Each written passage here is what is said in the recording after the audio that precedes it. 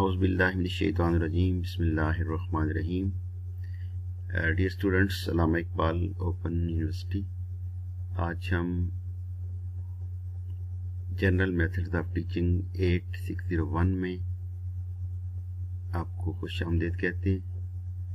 असलकम वरहमतुल्लाहि वबरकातुहू आज का लेक्चर शुरू करने से पहले एक मरतबा मिल के दरुद पाक पढ़ते हैं।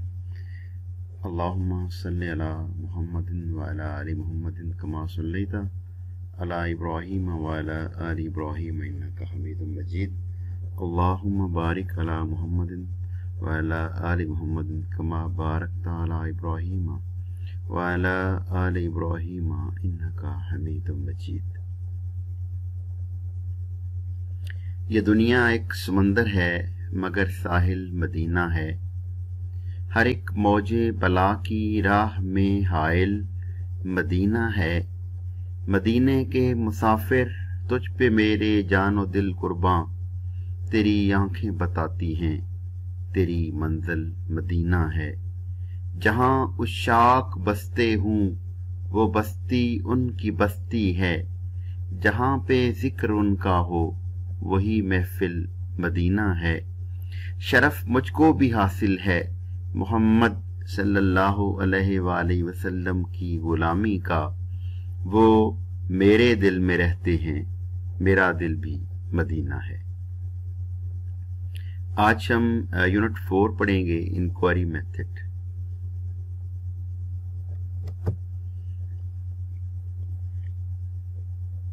सबसे पहले हम देखते हैं कि कंसेप्ट ऑफ़ इंक्वायरी इंक्वायरी का तस्वर क्या है?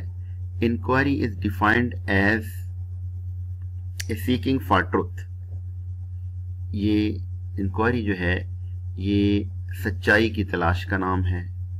इंफॉर्मेशन मालूमात और नॉलेज या इल्म। सीकिंग इंफॉर्मेशन बाय क्वेश्चनिंग आप कुछ इल्म हासिल करना चाह रहे हैं, आप सच्चाई की तलाश में हैं, आप मालूमात हासिल करना चाहते हैं उसके लिए जो आप मोड इस्तेमाल करेंगे, जो तरीकाकार इस्तेमाल करेंगे, वो ये होगा कि आप सवालात करेंगे और सवालात के ज़रिए आप उनके जवाब हासिल करके आप अपने इल्म में इजाफा करेंगे। The process of asking question or asking for information about someone or something यानी ये एक ऐसा प्रोसेस होता है जिसकी बिना पर कोई भी शख्स जो है वो सवालात पूछता है या इंफॉर्मेशन किसी चीज़ के बारे में हासिल करता है। The process of inquiring begins with gathering information and data through applying the human senses seeing hearing touching tasting and smelling हम ये जो मालूम हासिल करते हैं, इसके लिए हम ह्यूमन सेंसेस यानी हवास खमसा का इस्तेमाल करते हैं, जिसमें हम देखते हैं, सुनते हैं टच करते हैं टेस्ट लेते हैं और स्मेल करते हैं, सूंघते हैं किसी चीज़ को। इंक्वायरी मेथड क्या है जी? The inquiry method is a student centred learning approach inquiry method जो है, ये स्टूडेंट सेंटर्ड लर्निंग अप्रोच होती अप्रोच होती है with the concept of students who are actively involve in the teaching and learning activity under the monitoring and supervision of teacher जो अपने इस की सुपरविजन में और निगरानी में लर्निंग एक्टिविटीज़ कर रहे होते हैं। The inquiry method requires higher order ranking, skill and critical thinking to make conclusions. Inquiry method के लिए आपको हायर ऑर्डर की थिंकिंग स्किल चाहिए होती है और critical thinking to make conclusion critical thinking ये होती है कि आप पॉजिटिव और नेगेटिव दोनों किसी चीज़ के आस्पेक्ट्स को जब आप देखेंगे तो ये आपकी क्रिटिकल थिंकिंग होगी क्रिटिकल से मुराद ये नहीं है कि आपने सिर्फ़ और सिर्फ़ उसके वीक पॉइंट तलाश करने हैं, तनकीद करनी है, ये नहीं होता। क्रिटिकल थिंकिंग ये होती है कि आप किसी भी चीज़ के पॉजिटिव और नेगेटिव एस्पेक्ट दोनों देखें और उसकी बिना पे फिर आप कोई टू मेक कंक्लूजन कोई नतीजा हासिल करें, नतीजे पर पहुँच अब हम देखते हैं कि इंक्वायरी अप्रोच क्या होती है। The inquiry approach is more focused on using and learning content as a mean to develop information processing and problem solving skills inquiry approach जो है, ये ज़्यादा फोकस करती है on using and learning content कि हम जो कंटेंट है, उसका इस्तेमाल करते हैं as a mean to develop information process and problem solving skill कि इंफॉर्मेशन को प्रोसेस करने के लिए और प्रॉब्लम सॉल्विंग स्किल जो है, वो पैदा करने के लिए। The system is more student centred ये सिस्टम जो है, ये ज़्यादा स्टूडेंट सेंटर्ड होता है। स्टूडेंट सेंटर्ड वो एक ऐसा सिस्टम होता है, जिसमें हम स्टूडेंट्स को फोकस करते हैं। स्टूडेंट सेंटर्ड ये है कि हमने ये नहीं देखना कि उस्ताद के लिए क्या ईजी है या उस्ताद क्या चाह रहा है। हम ये देखते हैं इसमें कि हमारा बच्चा क्या चाह रहा है, हमारा बच्चा कैसे सीखता है, हमारा बच्चा कैसे डिस्टर्ब होता है, उसको हमने डिस्टर्ब नहीं होने देना। हमारा बच्चा जो है, वो उसकी हैंड राइटिंग ठीक नहीं है। हमने उसकी हैंड राइटिंग को क्या टेक्निक इस्तेमाल करके उसको बेहतर करना है? स्टूडेंट लेट आता है। उसके लिए क्या हमने तरीकाकार अप्रोच करनी है? क्या टेक्निक लगानी है कि जिससे वो रेगुलर हो जाए? ये स्टूडेंट सेंटर होता है, जिसमें हमारी सारे का सारा नसाब जो है, हमारा किताब, हमारा उस्ताद, वो सारे का सारा इसके इर्द गिर्द घूमता है कि ये किसी तरीके से ये स्टूडेंट जो है, ये सीख जाए। With the teacher as a facilitator for learning of learning और टीचर जो है, ये लर्निंग के लिए फैसिलिटेटर होता है। उसको सहूलत कार होता है, उसको सहूलत फ्राहम करता है, उसको सीखने में मदद देता है। There is more emphasis on how we come to know इसमें ज़्यादा ज़ोर इस बात पर दिया जाता है कि हम कैसे जानते हैं। एंड लेस ऑन और इस बात पर कम ज़ोर दिया जाता है वट वी नो हम क्या जानते हैं? हमने, हम इसमें ज़्यादा फोकस इस बात पर करते हैं कि how we come to know कि हम किसी बात को कैसे जानेंगे, इस बात पर फोकस नहीं करते कि हमने क्या जानना है। Students are more involve in the construction of knowledge through active involvement student जो है ज़्यादा क्लास में इन्वॉल्व होकर अपने इल्म में इजाफा करते हैं the more interested and engaged students are by a subject और the easier it will be for them to construct in depth knowledge of it. Uh, जब स्टूडेंट जो है ज़्यादा से ज़्यादा इंटरेस्ट लेंगे और अपने टीचिंग लर्निंग प्रोसेस में इन्वॉल्व होंगे तो उनको किसी भी इल्म में की डेप्थ में जाकर सीखने का मौका मिलेगा यानी वो इल्म की तह तक पहुँचेंगे, इल्म की गहराई तक जाएँगे। Learning becomes almost unproblematic when something facilitates students and reflect their interest and goal जब स्टूडेंट के जहन में अपने मकासद होते हैं और वो अपने सबक में दिलचस्पी ले रहे होते हैं तो टीचिंग लर्निंग प्रोसेस जो है, वो अनप्रॉब्लमेटिक होता है। वो उसमें कोई मसला नहीं होता। उनको कोई प्रॉब्लम नहीं होती सीखने में। और वो बहुत ही आसानी के साथ सीख रहे होते हैं। नेक्स्ट पॉइंट है जी inquiry based learning inquiry based learning is the student centred learning ये एक स्टूडेंट सेंटर्ड लर्निंग होती है and is a paradigm shift from a passive to active learning process और ये पैसिव से एक्टिव लर्निंग प्रोसेस की तरफ़ चला जाता है। मिसाल के तौर पर एक टीचर क्लास में पढ़ा रहा है और बच्चा बिल्कुल खामोश है। उसकी बजाय वो बच्चा जो उस्ताद पढ़ा रहा है, उससे सवालात करता है और सवाल करता है तो एक बच्चा सवाल करता है।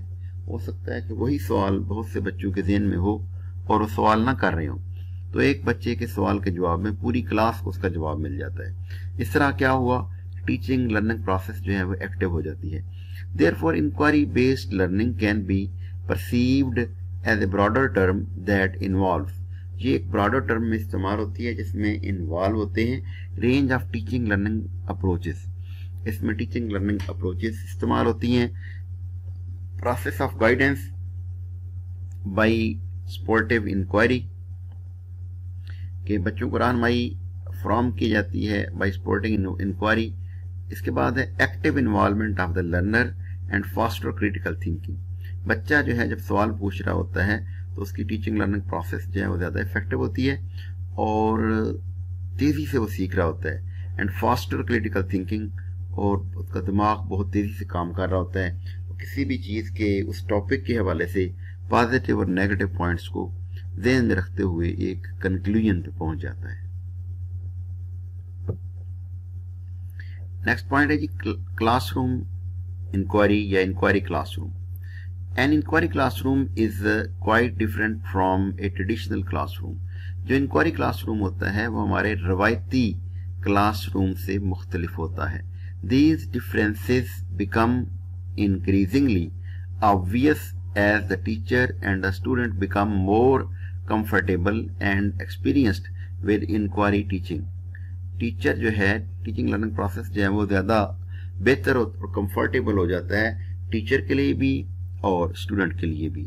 It can often be difficult to locate the teacher in an inquiry classroom because she is rarely found in the traditional spot अगर कोई टीचर जो है, वो ट्रेडिशनल स्पॉट पे ही खड़ी है, रवायती तरीकाकार के लिए पढ़ाने के लिए गई हुई है तो उसके लिए थोड़ा मुश्किल भी होता है। Behind the teacher desk students also move around the classroom as they interact with others and locate the appropriate material and resources for their work student जो हैं वो पूरी क्लास के इर्द गिर्द घूमते हैं और अपने लिए मुनासब मटेरियल और रिसोर्सेज जो हैं वो इकट्ठे करते हैं ताकि वो अच्छे अंदाज में काम कर सके। अब नेक्स्ट पॉइंट है जी डिडक्टिव मेथड डिडक्टिव मेथड में deduction is the process by which a particular fact is derived from some general known truth. Deductive method वो होता है जिसमें हम एक पर्टिकुलर फैक्ट एक खास हकीकत को, एक खास हकायक को हकायक को इकट्ठा करते हैं drive from the some general known truth किसी एक आम सच से हम पर्टिकुलर फैक्ट पे पहुँचते हैं। Thus in the deductive method of teaching learning proceed from general to particular ये जनरल से पार्टिकुलर की तरफ़ जाती है, यानी बच्चे को हम पहले आम चीज़ सिखाते हैं और उससे खास की तरफ़ ले जाते हैं। एब्स्ट्रैक्ट टू कंक्रीट एब्स्ट्रैक्ट क्या है? ख्याली। से कंक्रीट से मुराद है, ठोस की तरफ़ हम लेके जाते हैं। यानी अब्स्ट्रैक्ट क्या है? मिसाल के तौर पर मोहब्बत है। ये ख्याली हम कहते हैं, मुझे आपसे बड़ी मोहब्बत है। और इसके लिए कोई मेज़रमेंट हमारे पास नहीं है कि हम मोहब्बत जो है, वो कितनी है, उसकी मकदार कितनी है, वो कम है या ज़्यादा है, ये ख्याली है। इसी तरह हम जन्नत और दौलत, दोजख जो है, वो भी हमारे लिए ख्याली है कि हमने ना जन्नत देखा है, ना दोजख देखा है। तो वो चीज़ें जो हमें नज़र आती हैं, वो कंक्रीट हैं और जो नज़र नहीं आती, वो अब्स्ट्रैक्ट होती हैं। And from formula to example और हम फार्मूला पहले देते हैं, इसके बाद एग्ज़ाम्पल उसको देते हैं। Here a pre established rule or formula is given to the learners and they are asked to solve the related problems by using that formula here a pre establish rule यानी पहले से हम एक कानून बना लेते हैं या एक फार्मूला बनाते हैं is given to the learner वो लर्नर को हम देते हैं एंड दे आर आस्क्ड अब उसको हम कहते हैं to solve the related problems by using that formula हमने बच्चे को एक फार्मूला दे दिया। तो इसके बाद हमने कहा कि अब इस फार्मूले को लगा के आपने अपना प्रॉब्लम जो है वो सॉल्व करना है। Therefore in this method method इसलिए इस तरीकाकार में the learner has to perform only calculations इसलिए इस तरीकाकार में लर्नर ने सिर्फ़ कैलकुलेशंस करनी होती हैं or to simplify the substituted known values in the given formula to get the solution of the problem के स्टूडेंट्स को देयरफॉर इन दिस मेथड इसलिए इस तरीकाकार में the learner has to perform only calculations कि लर्नर ने सिर्फ़ calculations करनी होती हैं, क्यों? कि उसको रकम भी दे दी जाती है, उसको फार्मूला भी दे दिया जाता है। अब उसने उसको पुट करना है फार्मूला में और उसकी कैलकुलेशन करनी है। Or to simplify the substituted known values in the given formula to get the solution of the problem और इस तरह उन्होंने इस मसले का हल निकालना है। तो इसका मतलब ये हुआ, जो डिडक्टिव मेथड है, ये एक ऐसा तरीकाकार है जिसमें हम जनरल टू पार्टिकुलर यानी आम से खास की तरफ़ जाते हैं। पहले बच्चे को आम चीज़ बताते हैं, फिर खास की तरफ़ लेके जाते हैं। फिर हम उसको एब्स्ट्रैक्ट टू कंक्रीट यानी ख्यालात से चलते हैं और ठोस चीज़ों की तरफ़ ले जाते हैं। And from formula to example फिर उसको फार्मूला देते हैं और एग्ज़ाम्पल देते हैं। अब स्टूडेंट ने यहाँ पे क्या करना होता है? उसको फार्मूला भी दे दिया जाता है, उसको रकम भी दी जाती है। उसने सिर्फ़ उसको पुट करना है और फार्मूला में पुट करके कैलकुलेशन करनी है। ये है हमारा डिडक्टिव मेथड अब हम देखते हैं कि इसकी डेफिनेशन क्या है। According to the Joseph Landon deductive teaching secures first the learning of definition और लॉ और रूल डिडक्टिव टीचिंग जो है, ये सिक्योर करती है सबसे पहले द लर्निंग ऑफ़ डेफिनेशन के लर्निंग की डेफिनेशन क्या है और लॉ उसका कानून क्या है और rule then carefully explain its meaning and lastly illustrate it fully applying to fact. यानी कोई भी चीज़ है, सबसे पहले हम उसको, उसकी डिफाइन करेंगे, फिर उसके बारे में थोड़ी सी वजाहत करेंगे और इसके बाद it fully be applying the fact और अब जो हमारे पास पूरी हकीकत एक आ चुकी है, उसको हम डिफाइन करेंगे। Examples of deductive reasoning deductive reasoning की मिसालें क्या होंगी? एग्ज़ाम्पल वन है कि मेजर प्रीमिस यानी all philosophy students are intelligent सबसे पहले तो हम आ, ये एक कंसिडर कर लेते हैं कि तमाम फिलासफी के स्टूडेंट्स जो हैं वो इंटेलिजेंट होते हैं। अच्छा अगर आप चाहें तो एक लतीफ़ा मुझे याद आ रहा है वो भी आपके साथ शेयर करूँ कि दो दोस्त एक गाँव में रहता था एक शहर में रहता था जो दो देहात में रहता था, वो किसी गाँव में रहता था और जो शहर में रहता था, वो फलसफे का स्टूडेंट था। यानी वो फलासफर था। वो एक दिन ऐसा हुआ कि वो फलासफर जो है, वो अपने दोस्त के पास, उनके घर गया। पता चला कि वो घर नहीं है। तो गाँव में डेरा होता है, वो वहाँ डेरे पे चला गया। जहाँ पे उन्होंने कुआँ लगाया होता है, बैल मवेशी होते हैं, चारा होता है तो वो उसको मिलने के लिए वहाँ पे गया। तो ये पुरानी बात है। जब वो वहाँ पे गया तो उसने देखा कि एक बैल है जो कुएँ के गिर्द चक्कर लगा रहा है और कुएँ से पानी निकल रहा है। उस बैल के गले में उसने घंटी बांधी हुई थी। तो फिलासफर ने यह पूछा कि, भाई ये बैल काम कर रहा है तो आपने इसके गले में घंटी क्यों बांधी हुई है? तो उस दोस्त ने बताया, ये इसलिए बांधी हुई है कि मैं हर वक्त यहाँ पे नहीं रह सकता, मुझे आगे पीछे भी जाना पड़ता है। लेकिन जब बैल चल रहा होता है तो इसकी घंटी बजती है तो मुझे पता चलता है कि बैल अपना काम कर रहा है। तो उसने कहा कि अगर ये बैल अपनी जगह पे खड़ा हो जाए और खड़ा होकर घंटी बजाना शुरू कर दे तो फिर आपका क्या ख्याल है? तो उसने, दोस्त ने एक बहुत बड़ा कहका लगाया और उसने कहा, जनाब, ये बैल है, कोई फिलासफर नहीं है कि ये ऐसे करेगा. मैंने कहा, चले, आपके साथ एक लतीफ़ा भी शेयर करते हैं। अच्छा हम बात कर रहे थे कि मेजर प्रेमिस जो है वो ये है कि all philosophy students are intelligent कि तमाम जो फ़लसफ़े के स्टूडेंट होते हैं, वो जहीन होते हैं। इसका माइनर प्रीमिस क्या होगा कि mister Amin is a philosophy student mister Amin जो है, वो एक फ़लसफ़े का स्टूडेंट है। Therefore mister Amin is intelligent इसलिए मिस्टर अमीन जो है, वो जहीन है। तो सबसे पहले हमने जो है जनरल बात की है। जनरल बात हमने ये की है। जनरल से हम स्पेसिफिक की तरफ़ आए हैं, ये एक एग्जांपल है। जनरल बात ये थी कि तमाम फलसफे के स्टूडेंट जो हैं वो जहीन होते हैं। फिर हमने एक एग्जांपल दी कि mister Amin is a philosophy student mister Amin जो है वो एक फलसफे का स्टूडेंट है। इसलिए मिस्टर अमीन भी जहीन है। इसकी दूसरी मिसाल ये दी जा सकती है मेजर प्रमिस जैसे all birds are lays eggs यानी तमाम परिंदे जो हैं, वो अंडे देते हैं।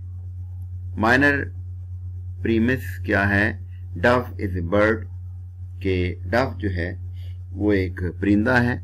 Conclusion therefore dove lays eggs इसलिए डव जो है, वो अंडे देती है। नेक्स्ट पॉइंट है जी इंडक्टिव मेथड हमने डिडक्टिव मेथड को बड़ी तफसील से पढ़ा। अब हम देखते हैं कि इंडक्टिव मेथड जो है वो क्या है। Inductive method is based on principle of induction ये इंडक्टिव मेथड जो है, ये प्रिंसिपल ऑफ़ इंडक्शन पर बेस करता है।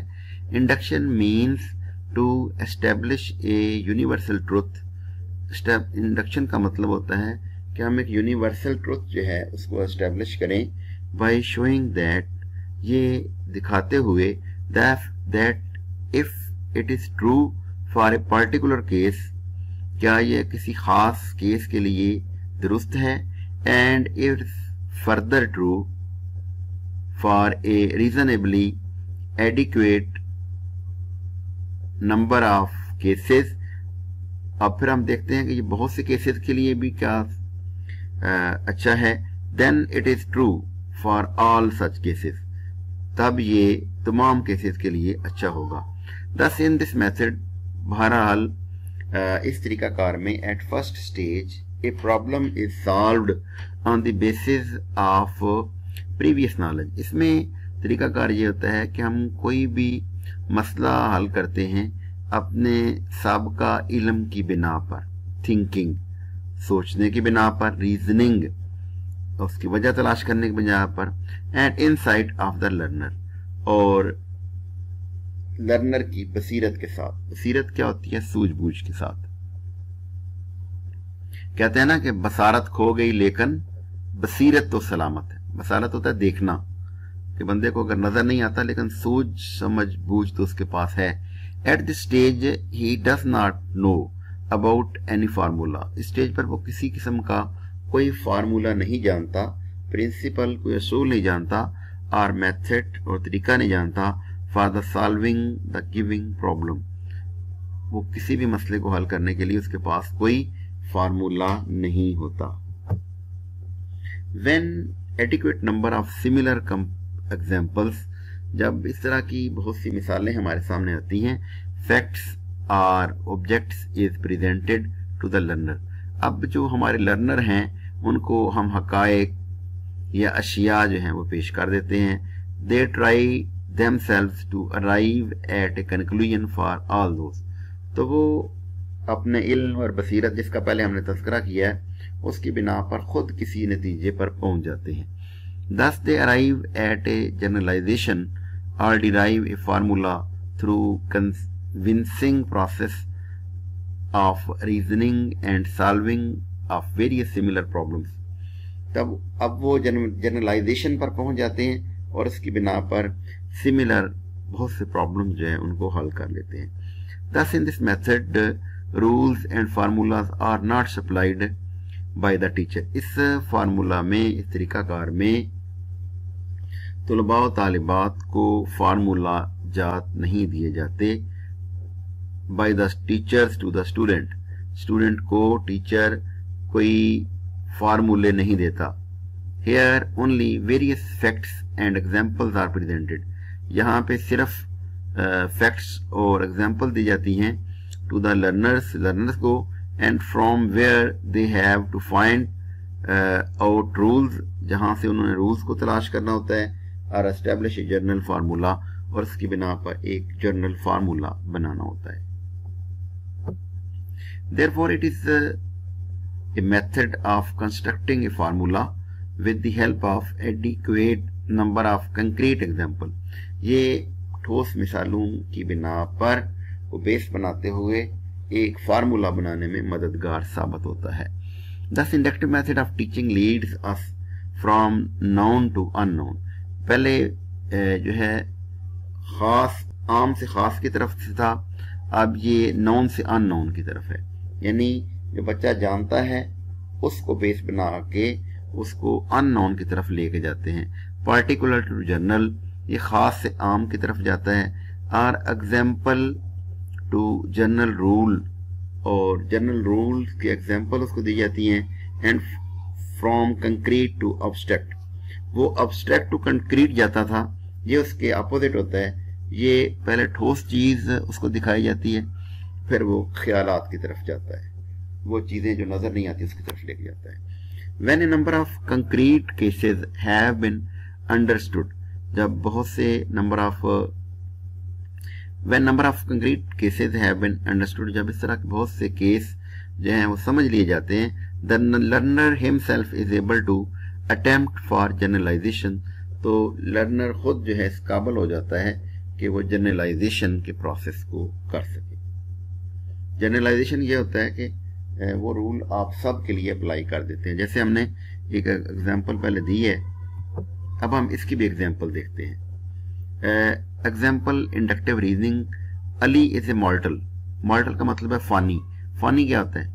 जिसने फना हो जाना है। जैसे कुरान मजीद में शाह ना, कुल्लु मन अलैया फान व यब का वजह रब्बी का जुलजलाल वलिक्राम कि हर चीज़ फान, यानी तबाह हो जाएगी और अल्लाह की ज़ात बाकी रह जाएगी। तो इंसान भी फ़ानी है। हर चीज़ फ़ानी है, हर चीज़ ने ख़त्म हो जाना है। अली इज़ मॉर्टल अली फ़ानी है, आलिया इज़ मॉर्टल आलिया भी फ़ानी है, आदल इज़ मॉर्टल आदल भी फ़ानी है। Therefore all man are mortal इस तरह तमाम मर्द जो हैं वो फ़ानी है।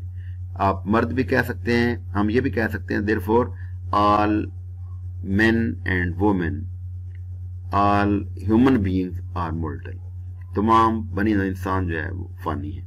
इसके एग्ज़ाम्पल टू हम देखते हैं। पिजन हैज़ विंग्स कबूतर पर रखता है। हॉक हैज़ विंग्स हॉक के पर होते हैं। क्रो हैज़ विंग्स कव्वे के पर होते हैं। Therefore are birds have wings इसलिए तमाम परिंदे पर रखते हैं। तो पहले हमने देखा कि पहले एक पिजन की मिसाल दी है, एक हॉक की और एक क्रो की मिसाल दी है। फिर हम इस नतीजे पे पहुँच आए हैं कि तमाम परिंदे जो हैं वो पार रखते हैं। अब हम नेक्स्ट देखते हैं जी साइंटिफिक मेथड जो है वो क्या है। A logical orderly approach that involve gathering data एक लॉजिकल और ऑर्डरली अप्रोच होती है, जिसमें हम डेटा कलेक्ट करते हैं फार्मूलेटिंग एंड टेस्टिंग हाइपोथेसिस हम मफरूज़े बनाते हैं और उनको टेस्ट करते हैं एंड प्रपोजिंग थ्योरीज और थ्योरीज बनाते हैं। The procedure adopted by the scientist to find out the facts and scientific truth is called scientific method यानी साइंसदान जो है, वो फैक्ट्स को इकट्ठे करने के लिए जो तरीकाकार फैक्ट्स को इकट्ठा करने के लिए और साइंसी सच को इकट्ठा करने के लिए जो तरीकाकार इस्तेमाल करते हैं, उसको साइंटिफिक मेथड कहते हैं। साइंसी तरीकाकार steps involve in the scientific method The following are the compulsory steps involved in the scientific method. Scientific method के अहम पॉइंट्स ये हैं स्टेप्स हैं। The elaboration of the steps as इसकी वजाहत कुछ यूँ हो सकती है। नंबर वन है जी realising the problem scientific method में सबसे पहले हम प्रॉब्लम को महसूस करते हैं कि ये मसला है। इसके बाद है डिफाइनिंग द प्रॉब्लम हम अपने प्रॉब्लम को डिफाइन करते हैं कि हमारा मसला क्या होगा। इसको हम स्टेटमेंट ऑफ़ द प्रॉब्लम भी कह सकते हैं। एनालाइजिंग द प्रॉब्लम एनालाइज करते हैं तो उसका तजिया करते हैं। इसके बाद है कलेक्टिंग डाटा इंफॉर्मेशन हम उस हवाले से डाटा कलेक्ट करते हैं इंफॉर्मेशन जो है वो कलेक्ट करते हैं। इसके बाद है फ्रेमिंग हाइपोथेसिस हम हाइपोथेसिस बनाते हैं वेरीफाइंग द हाइपोथेसिस हाइपोथेसिस क्या होते हैं? मफरूजे। हम अपने मफरूजों को वेरीफाई करते हैं फाइंडिंग द सोल्यूशन उनका सोल्यूशन तलाश करते हैं applying the solution in the life situation और उनका सोल्यूशन हम लाइफ सिचुएशन में तलाश करते हैं। सबसे पहले रियलाइजिंग द प्रॉब्लम प्रॉब्लम को रियलाइज़ करना, ये क्या होता है? To the urge to find out the truth for any scientific happening is the first step which helps to solve the problem in the scientific method. किसी भी साइंसी तरीकाकार को हल करने के लिए सबसे पहला स्टेप ये होता है to find out the truth कि हम सच्चाई को की तलाश करें। Each and every happening of nature catches the students attention nature के अंदर जो भी चीज़ें वाक़ हो रही हैं uh, वो स्टूडेंट्स की अटेंशन को अपनी तरफ़ डाइवर्ट करती हैं। And they wonder about the basic cause and its effect upon the nature अब वो नेचर uh, के ऊपर उसका जो असर होता है उसको देखते हैं। The students plunge in wonder while using scientific method the prime duty of the teacher is to introduce a concept in the form of problem and uh, motivate the student to find out the solution of the problem the same. अब इसमें teacher की क्या ज़िम्मेदारी होती है कि वो एक प्रॉब्लम को तलाश करे और स्टूडेंट्स को कहे कि आप इस प्रॉब्लम का हल तलाश करें। यानी इसका मतलब ये हुआ कि स्टूडेंट की टीचर हेल्प करता है in the realising the problem अगर स्टूडेंट को प्रॉब्लम नहीं uh, समझ नहीं आ रही तो टीचर का काम है उनको फैसिलिटेट करें। इसके बाद है डिफाइनिंग द प्रॉब्लम इसके बाद हम प्रॉब्लम को डिफाइन करते हैं after sensing the problem clearly जब हम प्रॉब्लम को क्लियरली सेंस कर लेते हैं it should be defined clearly so that the problem could be solve इसको हम क्लियरली mm, डिफाइन कर लेते हैं कि ताकि इसको हल किया जा सके।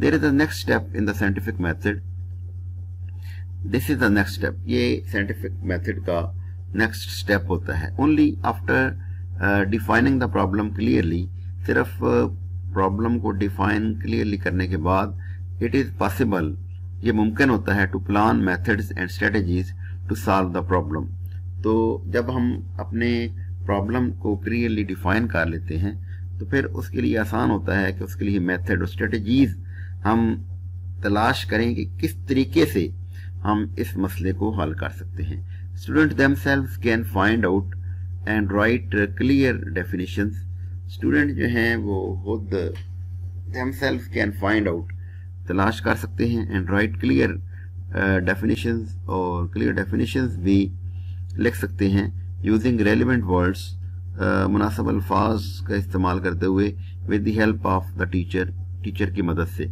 Suitable definition can be selected from them और उनमें से हम एक सूटेबल डेफिनेशन जो है, वो सिलेक्ट कर सकते हैं। इसके बाद है एनालाइजिंग द प्रॉब्लम एनालाइज का मतलब होता है तजिया करना।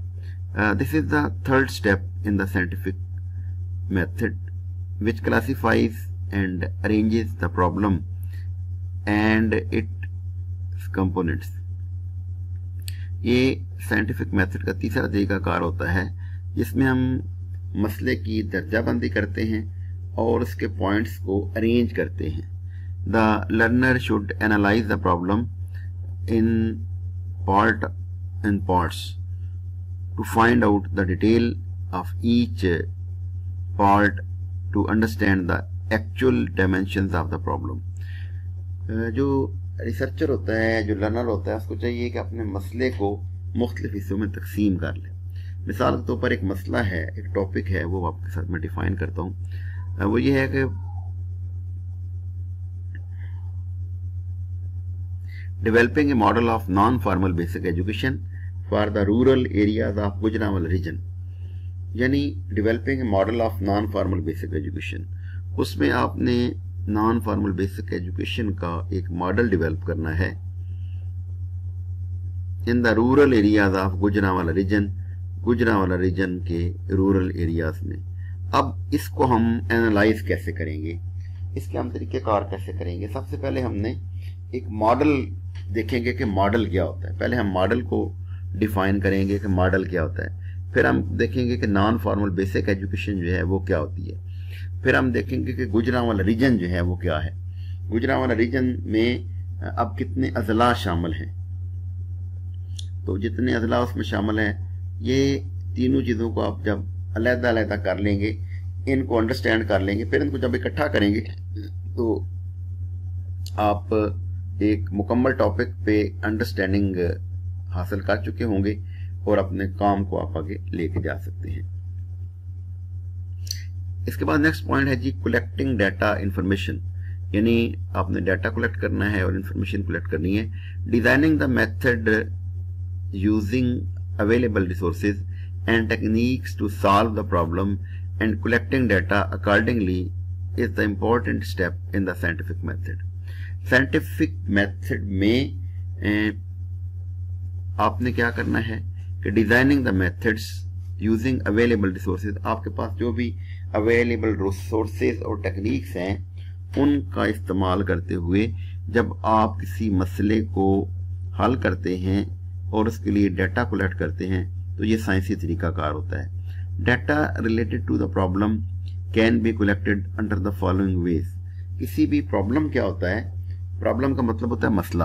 अब ये बात में रखिएगा कि each and every research start from a problem when there is no problem there is no research यानी कोई भी रिसर्च जो है आप आ, उस वक्त तक उसका कोई हल नहीं निकाल सकते जब तक आपके पास कोई मसला ना हो। यानी each and every research start from problem her research जो है वो किसी मसला से शुरू होती है।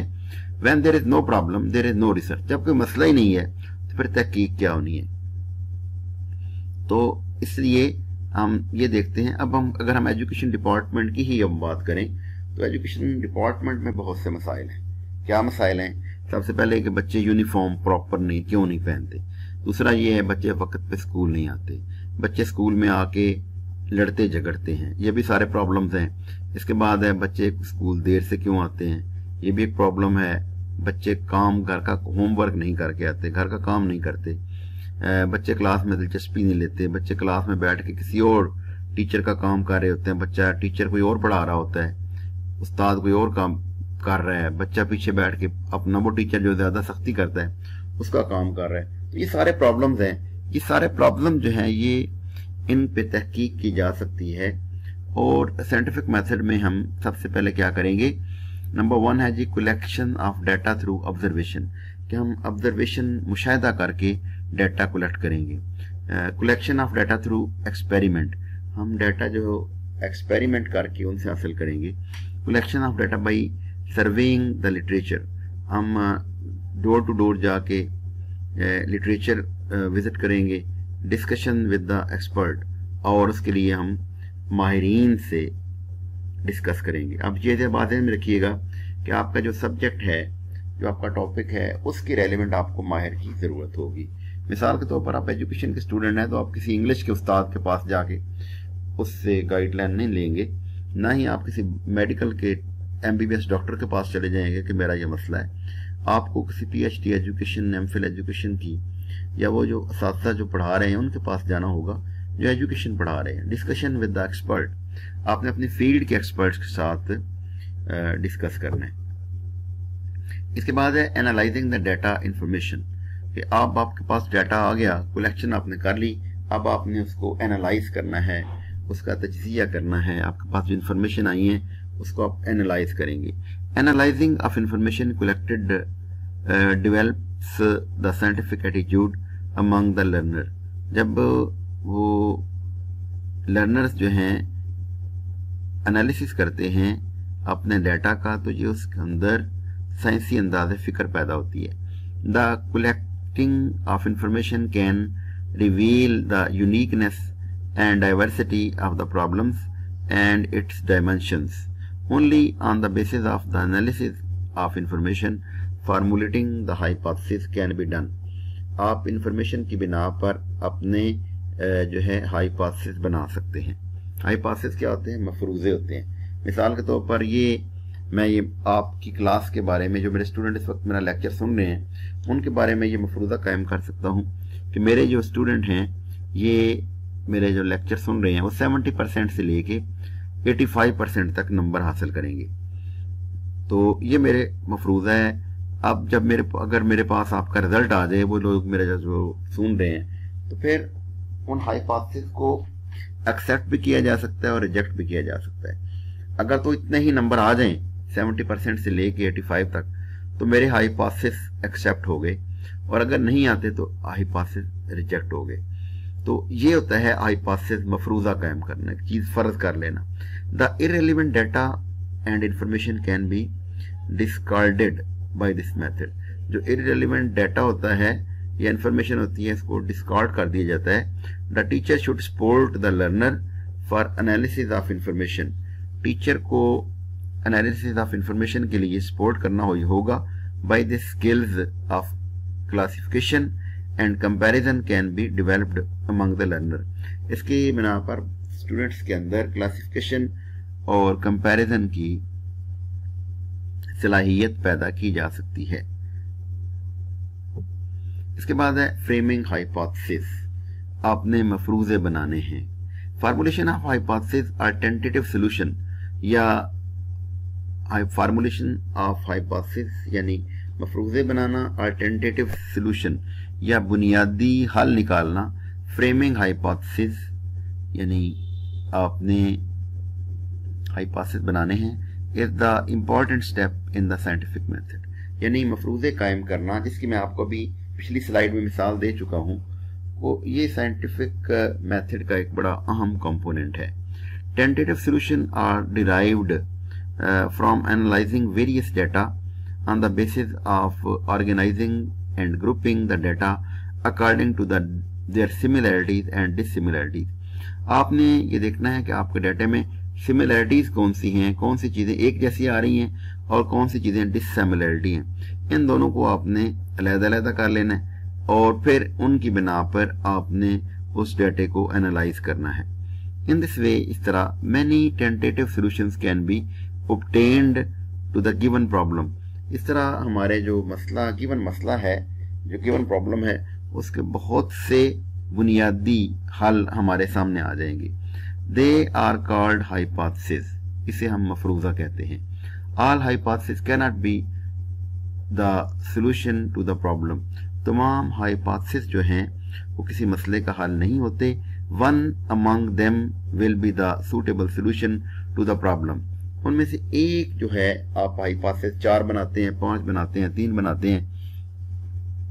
उनमें से एक जो हाइपोथेसिस होगा, वो आपके मसले का हल होगा। Students can be encouraged to formulate hypothesis on the basis of collected data by observation और बाई एक्सपेरिमेंट अब स्टूडेंट्स को ये कहा जाता है कि वो तजर्बात के ज़रिए या मुशाहदात के ज़रिए जो उन्होंने डाटा कलेक्ट किया है, उसकी बिना पर वो मफरूज़े कायम करें। इसके बाद है वेरीफाइंग द हाइपोथेसिस आपने हाइपोथेसिस को वेरीफाई कैसे करना है? उनकी तस्दीक कैसे करनी है? एवेल्यूशन ऑफ़ हाइपोथेसिस और verification of hypothesis is essential यानी एवेल्यूशन ऑफ़ हाइपोथेसिस यानी मफरूजों को एवेल्यूट करना और वेरीफाइंग द हाइपोथेसिस या हाइपोथेसिस को वेरीफाई करना इज़ इसेंशियल ये ज़रूरी होता है to find out the appropriate one उनमें से एक दुरुस्त तलाश करने के लिए which is the most likely to be correct जो करीब होने के बिल्कुल करीब होता है। यानी लाइकली टू बी करेक्ट जिसको हम बिल्कुल करेक्ट कह सकते हैं। On the basis of hypothesis मफरूजों की बिना पर further data collected through the repeated experiments are analysed मफरूजों की बिना पर जो हमारा डाटा होता है, उसको एक्सपेरिमेंट्स की बिना पर जो हमने हासिल किया होता है, उसको एनालाइज किया जाता है। And the most appropriate hypothesis need to be needed need be selected और जिस हाइपोथेसिस की हमें ज़रूरत होती है, उसको हम सिलेक्ट कर लेते हैं। The tentative solution may be discarded when there is lack of validity of the experimental proof जब एक्सपेरिमेंटल प्रूफ की कमी हो तो हम उस टेंटेटिव सोल्यूशन को डिस्कार्ड कर देते हैं। नेक्स्ट पॉइंट है G finding the solution a hypothesis must be tested in a of environments एक हाइपोथेसिस जो है, वो वैरायटी ऑफ़ इन्वायरमेंट्स में टेस्ट किया जा सकता है। And from the results of the test and experiments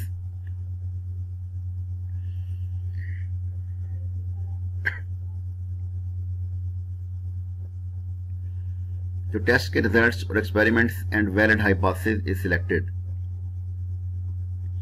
और उसमें से वैलिड हाइपोथेसिस जो है वो सिलेक्ट किया जाता है।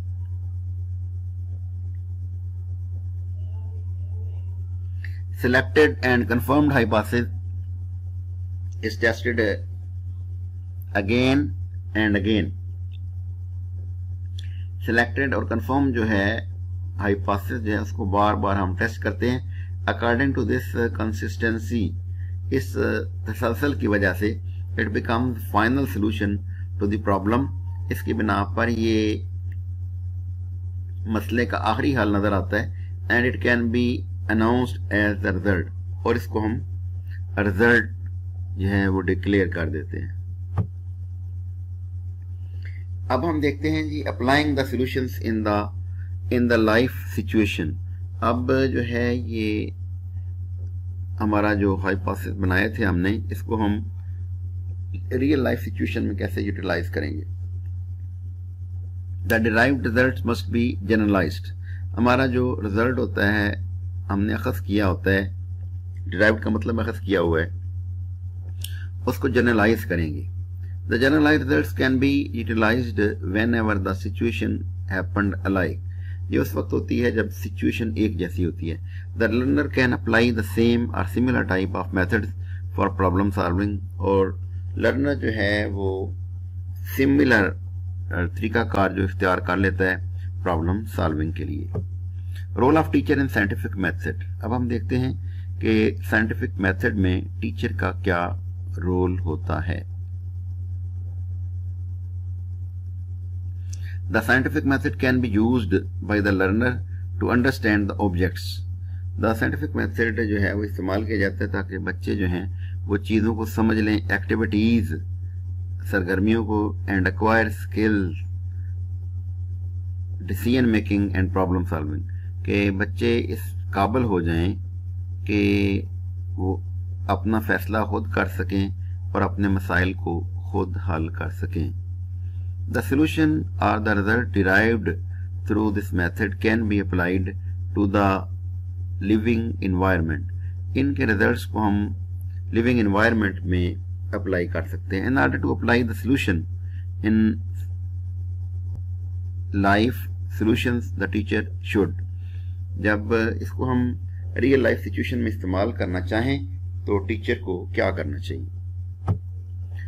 Number one arrange a necessary environment to understand the problem इस तरह का माहौल बनाए कि बच्चे जो हैं वो प्रॉब्लम को समझ सकें। Guide the learner to collect the data और इंफॉर्मेशन टीचर जो है, इसका रोल ये है इसमें कि वो बच्चों को गाइड करे कि उन्होंने डाटा किस तरह कलेक्ट करना है या इंफॉर्मेशन कहाँ से लेनी है।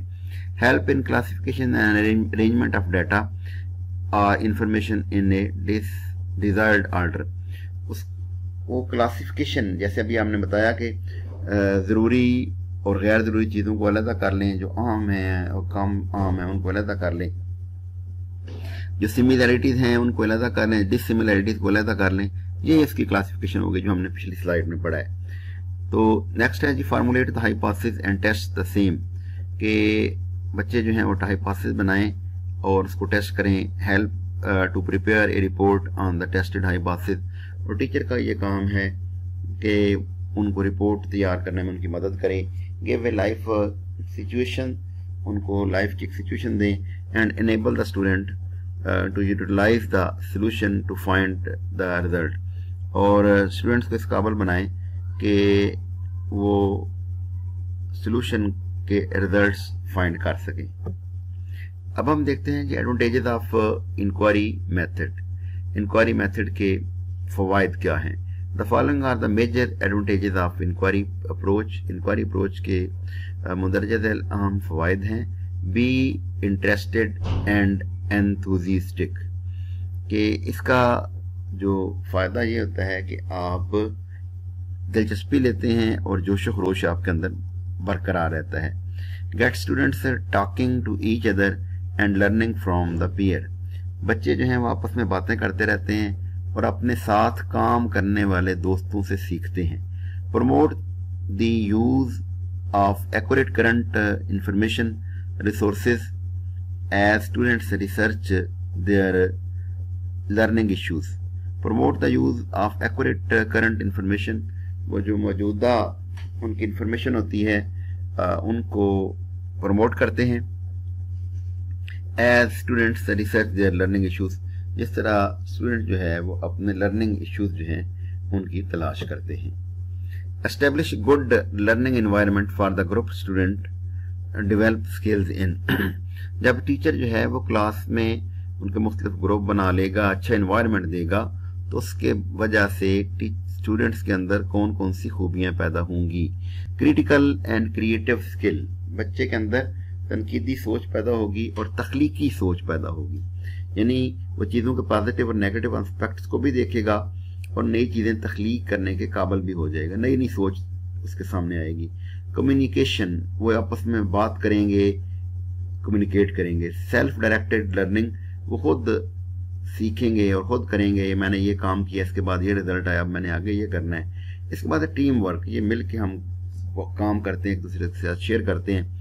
प्रोजेक्ट की मैनेजमेंट करते हैं प्रॉब्लम सॉल्विंग मसाइल हल करते हैं and student get to know on one and other better and make friends वो एक दूसरे से सीखते हैं और अपने दोस्त बनाते हैं। जब कोई मफादात, ये बात में रखिएगा। एक डेली लाइफ एग्जांपल में की भी यही दी जा सकती है कि हम इकट्ठे क्यों होते हैं जब हमारे मफादात इकट्ठे होते हैं? जब हमारी सोच इकट्ठी होती है, जब हमारे मिशन एक होता है तो फिर हम इकट्ठे होते हैं। तो स्टूडेंट जब इकट्ठे होंगे तो एक दूसरे से सीखेंगे। इसके बाद limitation of inquiry method inquiry method की कमजोरियाँ क्या हैं? The scope of the inquiry method is limited in terms of also the effective application of this approach requires uh, motivated and mature students. The scope of inquiry method is limited जो scope inquiry method का scope जो है वो limited हो जाता है in the terms of content contents के हवाले से. Also the effective application of this approach इसी तरह इफ़ेक्टिव अप्रोच जो है अप्रोच जो है रिक्वायर्स मोटिवेटेड मोटिवेट रहती है एंड मेच्योर स्टूडेंट्स और स्टूडेंट्स मेच्योर होते हैं. The teacher also need to be well competent in planning designing conducting and monitoring the inquiry based learning teacher जो है, अगर वो खुद सुस्त होगा तो इंक्वायरी बेस्ड मेथड कभी भी कामयाब नहीं हो सकता।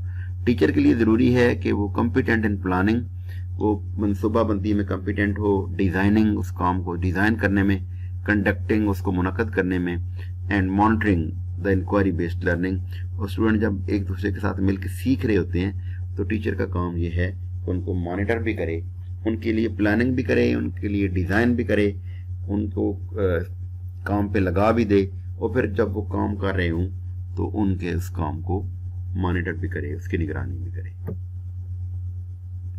प्रॉब्लम सॉल्विंग ये क्या होता है जी? Students are presented with problems which require them to find either a scientific or technological solution student को जो है एक मसला दिया जाता है अब ज़रूरत इस बात की होती है कि वो उसका हल तलाश करें। खा वो साइंसी हो या टेक्निकली हो। It is a student centre strategy which require students to become active participant in the learning process problem solving ये होती है कि ये एक एक्टिव स्टूडेंट को एक्टिव करती है ताकि वो टीचिंग लर्निंग प्रोसेस में अपना रोल अदा करें।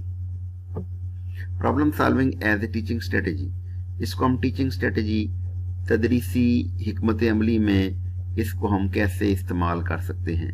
Problem solving is teaching strategy that implies the scientific method in searching for information ये एक ऐसा तरीकाकार होता है जिसकी बिना पर हम problem solving is teaching strategy ये एक टीचिंग स्ट्रेटेजी है तदरीसी हमत अमली है that implies the scientific method in searching for information जो इंफॉर्मेशन की तलाश के लिए साइंसी तरीकाकार इस्तेमाल करती है।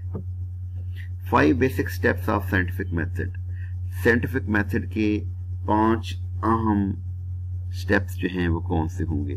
नंबर वन है sensing and defining the problem यानी किसी भी मसले को समझना, महसूस करना और उसको डिफाइन करना। फार्मूलेटिंग हाइपोथेसिस मफरूजे कायम करना टेस्टिंग द लाइकली हाइपोथेसिस और उन हाइपोथेसिस को चेक करना analysis interpretation and evaluation of evidence जो उनके पास गवाही है, आई है, उसको एनालाइज भी करना है इंटरप्रेट भी करना है और उसको एवेल्यूएट भी करना है। फार्मूलेटिंग कंक्लूजन और साइंटिफिक मेथड में हम कंक्लूजन पर पहुँच जाते हैं। This approach is used most often in the science and mathematic classes ये अप्रोच आमतौर पर साइंस और रियाजी की क्लास में कंडक्ट होती है।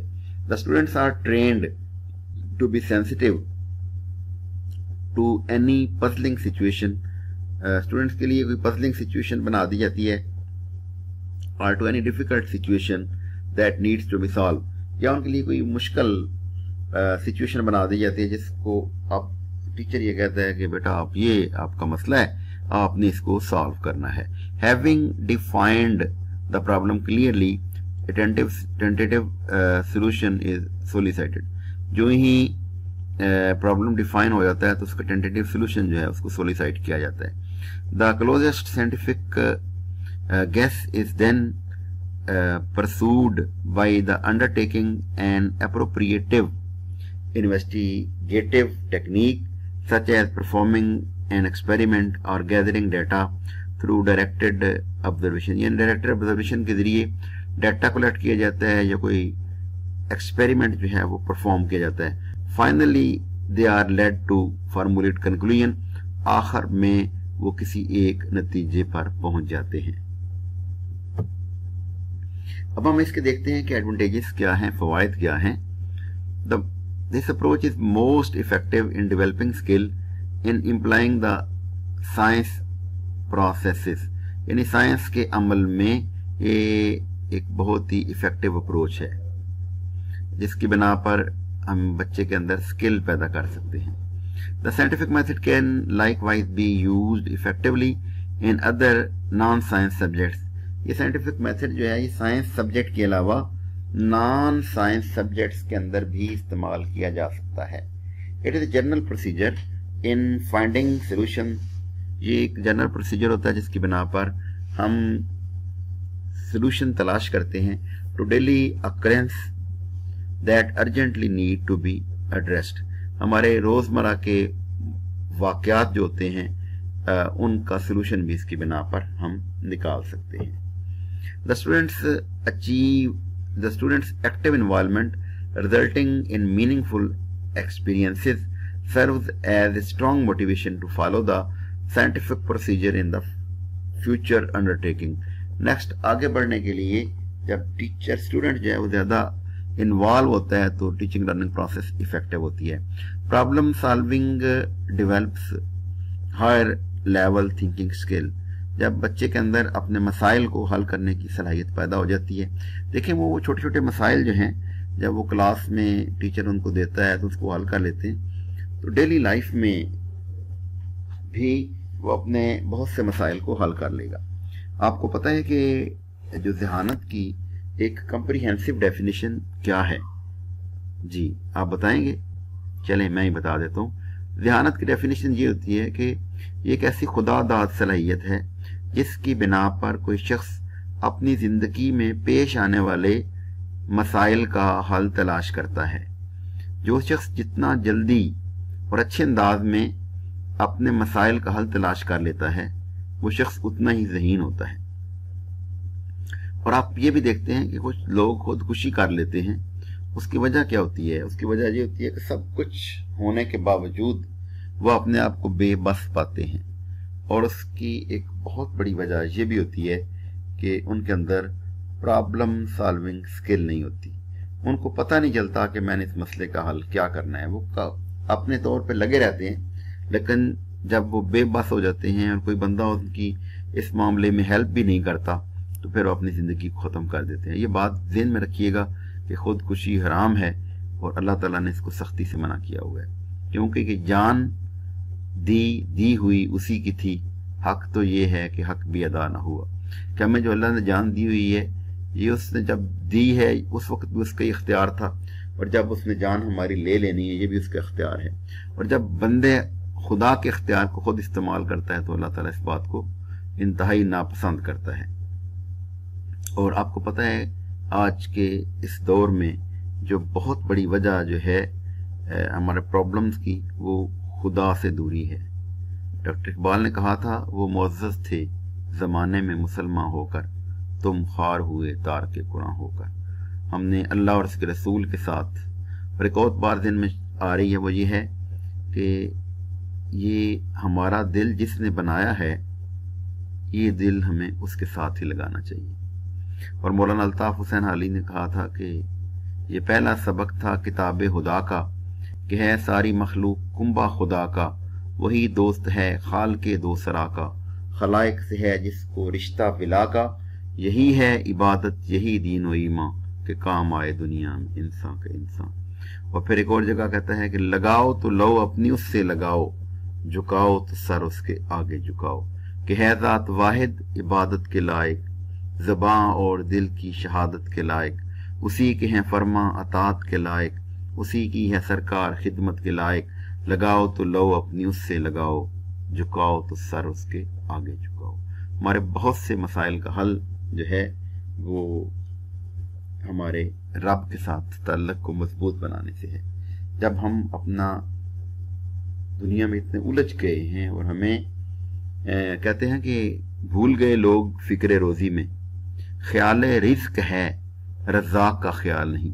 हमें अपने रिस्क का तो बड़ा ख्याल होता है लेकिन उस रजाक का ख्याल नहीं होता जिसने हमें रिस्क देना है। तो प्रॉब्लम सॉल्विंग स्किल जो है वो जो बच्चे खुद काम करते हैं, उनके अंदर सलाहियत होती है। A keen sense of responsibility originality and the resourcefulness are developed which are much needed ingredient for the independent study और इसकी बिना पर बच्चे खुद जो है स्टडी करने के काबल हो जाते हैं। The student become appreciative and grateful for the achievement of the scientist वो एप्रिसिएटिव होते हैं ग्रेटफुल होते हैं और साइंसी अचीवमेंट में आगे निकल जाते हैं। क्रिटिकल थिंकिंग उनके अंदर तनकीदी सोच पैदा होती है। ओपन माइंडलेस माइंडेडनेस यानी खुले जहन के होते हैं। And wise judgement are among scientific attitudes and values inculcated through competency in the scientific method scientific method का इस्तेमाल जब करते हैं तो उनके अंदर साइंसी रवैया पैदा होता है और उनके अंदर अकदार पैदा होती है। The students learn to accept the opinion and evidence shared by other student जो है वो अपनी बात पे नहीं डटा रहता, बल्कि वो ये देखता है कि अगर किसी की तरफ़ से कोई अच्छी ओपिनियन आ रही है तो गवाही मिल रही है तो उसको भी एक्सेप्ट करने के लिए तैयार होता है। Any question